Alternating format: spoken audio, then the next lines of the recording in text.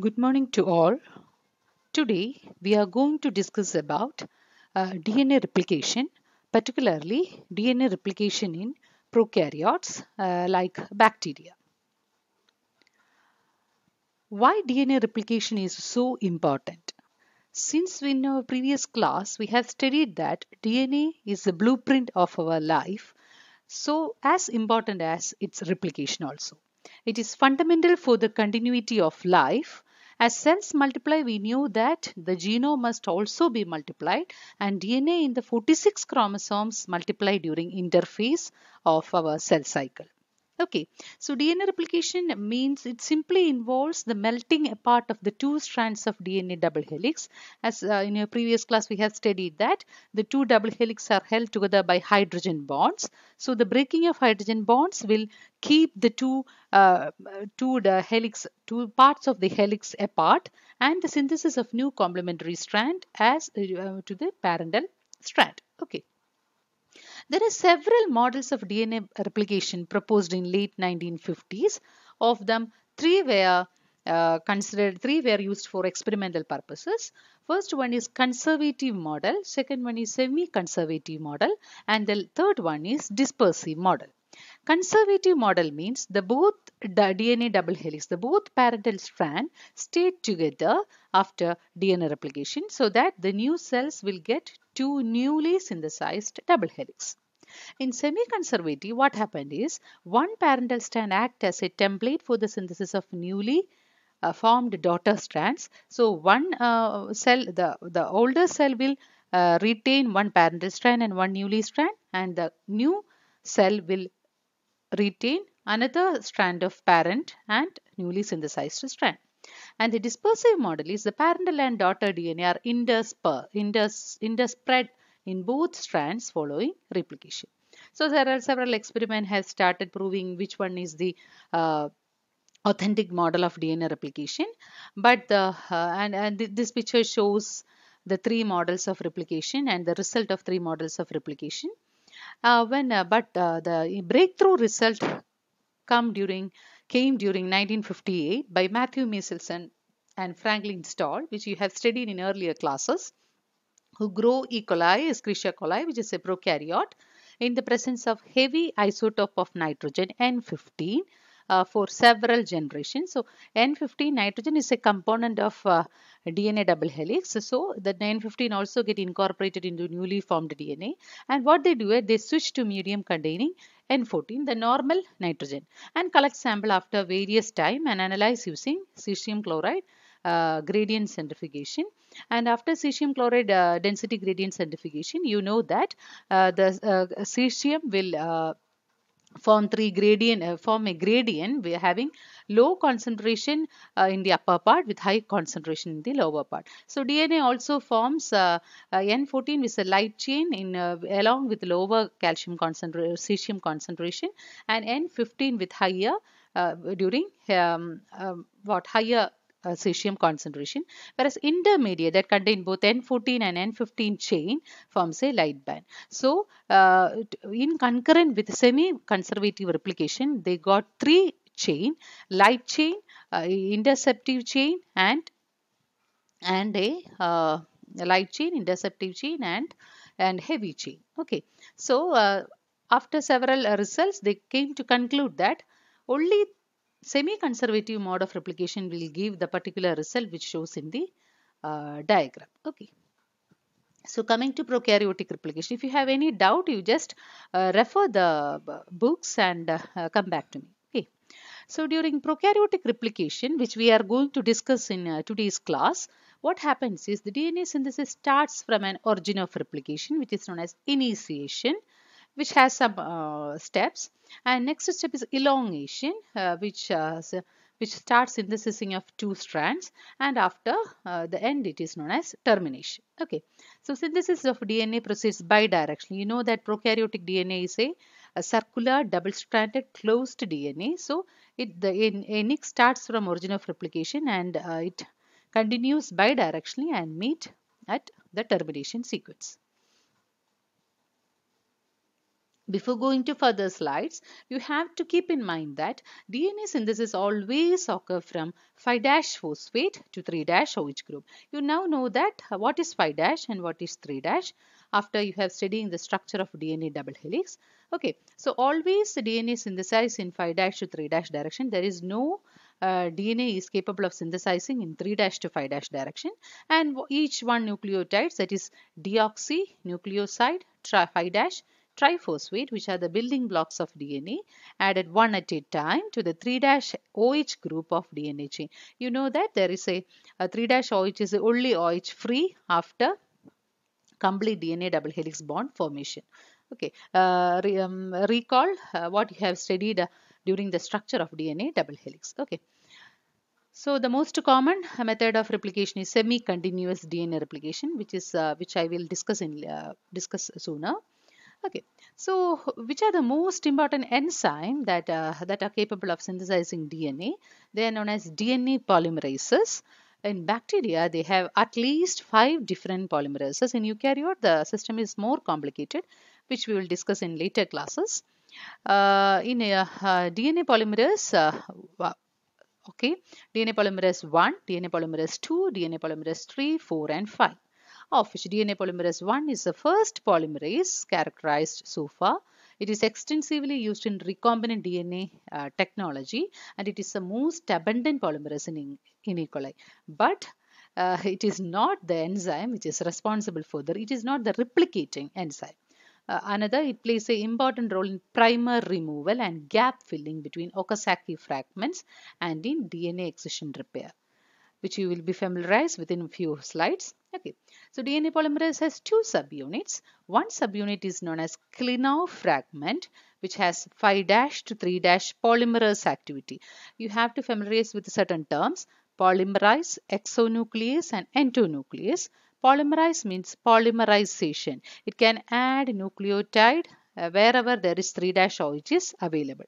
Okay, so we can uh, increase the length of DNA double helix with 5 3 polymerase activity.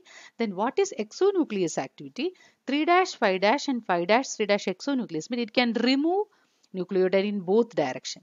So it is used in proofreading. If there is an incorrect nucleotide have incorporated during replication using the DNA polymerase 3-5- and 5-3- exonuclease activity, it uh, uh, removes the incorrected nucleotide enzyme. Okay, so it is a holoenzyme having two subunit. One is known as Klenow fragment, which ha which have which have the polymerizing activity. You should uh, um, you should note that there is no 3-5- polymerase activity that is why DNA is always synthesized in 5-3- direction. Okay. So, uh, second one is DNA polymerase 3. DNA polymerase uh, uh, 2, 4 and 5. DNA polymerase 3 is the chief replicating enzyme in in bacteria in E. coli. Okay, it catalyzes the genomic replication. It is also a holoenzyme with 10 different polypeptide subunit, not two, with 10 different polypeptide subunit, alpha, beta, delta, epsilon, theta, eta, and it goes on. Whereas alpha subunit is a replicase and epsilon subunit has the proofreading. You know proofreading, right? That is 3-5- exonuclease activity. Whenever it incorporated a wrong nucleotide with using its proofreading activity DNA polymerase can remove that that mistakenly incorporated nucleotide that is known as proofreading. So DNA polymerase uh, since it has proofreading activity it also uh, plays role in uh, excision repair pathways. Okay. Then DNA polymerase 2, 4 and 5. 2, 2 4 and 5 is used in uh, DNA repair enzyme uh, which we will discuss in during DNA uh, repairing. So coming to the players, the chief players in the game of DNA replication, uh, there are uh, several players. A few of them are mentioned here. You should uh, now in uh, uh, during this chapter you should uh, focus only on E. coli. Not focus is given to humans because in eukaryotic replication we will discuss in later classes. So in here you know that there are helicase, Helicase is used to unwind the DNA double helix. You know that DNA is wrapped tightly in uh, nucleus. So helicase is used to unwind the DNA. The helicase present in E. coli is DNA B. Then loading helicase means you, there is something which have to load helicase into the DNA double helix and that is known as DNA C which has the primase activity also. What is primase which I will come to come to explain later. Then there are single strand maintenance. You know that when we remove the double helix the DNA will be single stranded. So whenever single strand nucleotide is present nucleus will attack that single strands single strand. So it, as soon as a single strand is formed, it should coat with certain protein and that coating protein is CSSB, single strand binding protein. Then there are priming enzyme to add the primer and the primer is DNAG which is a primase. So for loading primers that is DNAC and the usual priming enzyme is that is a primer. Primer is a short segment of nucleotide uh, nucleotide to start DNA replication. Then there is clamp. Clamp means a ring-shaped structure which uh, which initially uh, placed during DNA replication and uh, in the clamp uh, DNA polymerase, helicase, uh, primase all are loaded. Okay, so clamp is needed. Clamp ഒരു വള പോലത്തെ ഒരു സ്ട്രക്ചറാണ് ഒരു ring shape സ്ട്രക്ചറാണ് clamp ഉണ്ടെങ്കിൽ ഇതിനെ tight ആയിട്ട് പിടിച്ചു നിർത്തും. ഡി എൻ എ പോളിമറേസിനെയൊക്കെ ടൈറ്റ് ആയിട്ട് പിടിച്ചു നിർത്തും. So sliding clamp is beta in ഈക്വലായി and for clamp also there is a clamp load that is delta gamma complex then there is strand elongation you know that once priming and all that done the D N A nucleated should be elongated and that strand elongation is polymerase 3 and final the primer should be removed and the RNA primer should be removed using pol 1 and, uh, and, and at last step is you have to uh, what join all the Okazaki fragment. What is Okazaki fragment? I will explain. You have to ligate all the Okazaki fragments and uh, uh, that is ligase, DNA ligase enzyme. So these are the players. Uh, keep in mind, we are going to discuss each in detail. so before going to DNA replication, you should have to keep in mind two points. First one is DNA polymerase uh, 1, 2, 3, 4, 5, whichever DNA polymerase uh, discovered so far is only capable to add nucleotide in 5 3 direction only. So that is, the, it has to, it can catalyze the formation of phosphodiester bond between the 5 phosphate group of a nucleotide and the 3 hydroxyl group of the last nucleotide in the newly synthesized strand. Okay, so this is a energetically unfavorable reaction with the delta G positive so you know that delta G should be negative for a reaction to drive. So for that the DNTP there is triphosphate, 3 phosphodiester bonds, 3 phosphate anhydride bond, sorry, 3 phosphode anhydride bond. So only the innermost phosphate is added in the nucleotide and the pyrophosphate PPI is liberated. So the PPI is liberated. It is a high energy bond. This high energy bond liberation makes the reaction negative delta G0. Okay, that makes the reaction drive in forward direction which does not require additional energy. Okay, so DNA polymerase can add only nucleated in 5-3- direction and the energy for the reaction is given by the pyrophosphate cleavage of DNTPs. And another feature of DNA polymerase is that no any any DNA polymerase in uh, discovered so far is capable of synthesizing DNA ab initio means it cannot initiate DNA synthesis. It should have a free 3-OH group to continue the reaction. That is why they needed a primer. Primer is a short RNA chain. It is not a DNA chain. It is a short RNA chain which must be synthesized on the DNA template before DNA polymerase can start elongation of DNA chain. Now you recover what is the role of DNA polymerase alpha which is which is needed to uh, which is required a DNA polymerase alpha of DNA polymerase 3 which require a primer to start a reaction.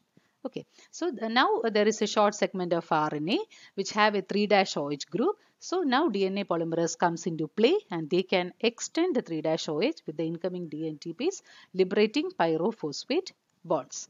Okay, making the reaction favorable. So once primed, polymerase can extend pre-existing chain rapidly and with high fidelity. Bacterial and mammalian DNA polymerase can add approximately 500 and 50 nucleotide per second respectively. Bacteria can add 500 nucleotide whereas mammalian uh, human system or other mammalian system can add approximately 50 nucleotide per second. So this is the directionality of DNA strands in a eukaryote. It is a uh, it is a circular double-stranded uh, DNA. So it uh, starts in both directions. That is why I am saying that the replication goes bi-directional.